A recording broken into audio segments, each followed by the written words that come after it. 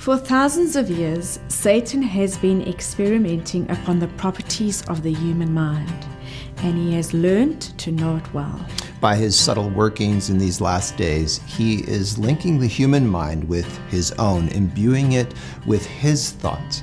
And he is doing this work in so deceptive a manner that those who accept his guidance know not that they are being led by him at his will. The great deceiver hopes so to confuse the minds of men and women that none but his voice will be heard. This is a scary thought.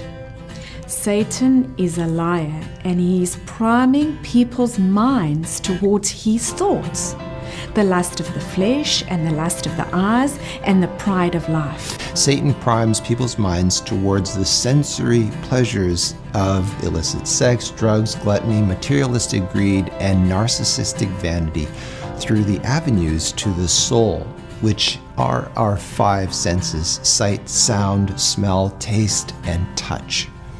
King David vowed, I will set nothing wicked before my eyes.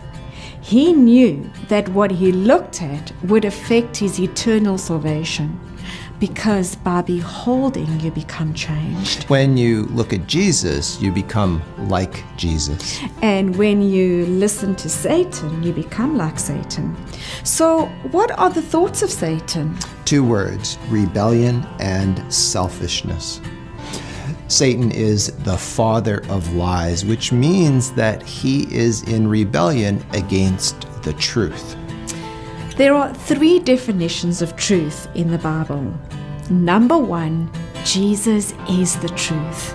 Jesus said, I am the way, the truth, and the life. Number two, God's Word, the Bible is the truth. Jesus prayed, Sanctify them by your truth. Your word is truth. And number three, God's law or the Ten Commandments is the truth. Your righteousness is an everlasting righteousness, and your law is truth. So when He, the Spirit of truth, has come, He will guide you into all truth. Jesus said, My sheep listen to my voice because they are focused on the truth by his Holy Spirit dwelling in their hearts. Jesus said to the people who believed in him, You are truly my disciples if you remain faithful to my teachings, and you will know the truth, and the truth will set you free. Free from the anxiety, depression, and destructive self serving practices that come from listening to the voice of the enemy of your soul.